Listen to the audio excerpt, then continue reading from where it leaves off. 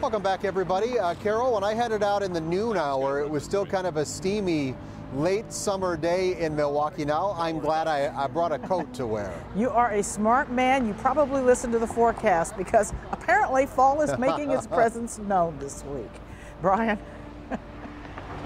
Uh, fall is here. Uh, just a couple hours ago, it was warm, a little humidity in the air as well, and now we're getting our first taste of those blustery fall winds. It's not cold yet, but that wind has really whipped up here. Uh, and where are we? We are at the Corners in Brookfield, where it is Food Truck Festival night.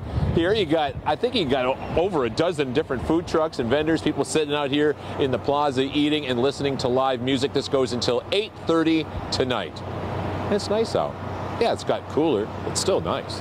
Uh, the clouds have rolled in. Don't worry about any uh, rain this evening. We hit 80 in Milwaukee. We had a morning low of 74, so it was warm this morning and a little humid as expected. I say morning low because we are now cooler than that 74. In fact, in Waukesha, and with this wind, I'm shocked that there's not white caps on the upper end of those falls. Uh, we're seeing 64 degrees right now in Waukesha. Northwest wind at 13, but we are seeing gusts over 20 to 25 and close to 30, and they will stay strong tonight and throughout the day tomorrow as well. The cooler air is moving in quickly. Everyone will be in the 60s over the next hour, and your weather headlines, fall is right on schedule. In fact, it officially begins, if you go by the astronomical uh, calendar, 8.03 tomorrow evening. Meteorologically, it started September 1st, but tomorrow we are in fall. And then there's a chance for some weekend showers, but not a washout by any means.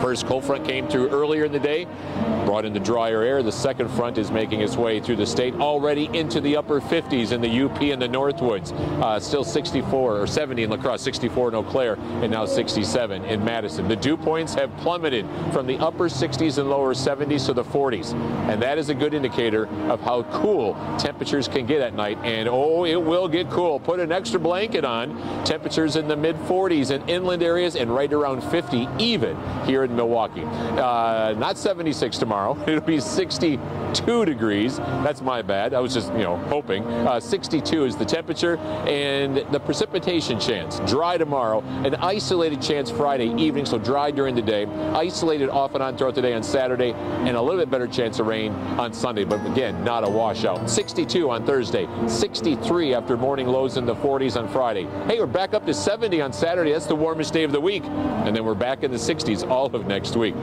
Hello, fall.